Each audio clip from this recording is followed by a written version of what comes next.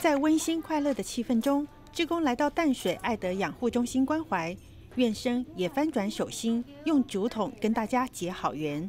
捐出来的话，集中很多的钱，可以开设很多的道路啊，可以救人，也可以救自己。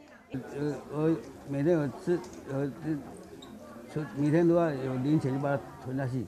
要要救助那个难民，那些难民，很开心。他们可以就是让这个爱继续持续的流动，不只是只有他们在这边接受别人帮助，他们也可以去帮助更弱势的人。新年福会红包，传递祝福，有如一家人的温暖，岁岁年年。